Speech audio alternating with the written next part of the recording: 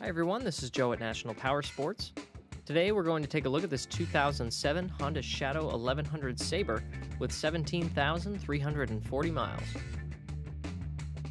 Powered by a liquid-cooled 1099cc V-twin engine with a 5-speed transmission, the Sabre puts out 68 horsepower at 5,000 RPM and 75 foot-pounds of torque at 3,000 RPM.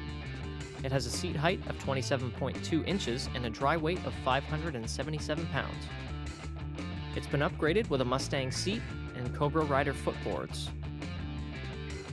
There are a few chips in the paint on the rear fender, as well as some paint flaking from the right footboard mount.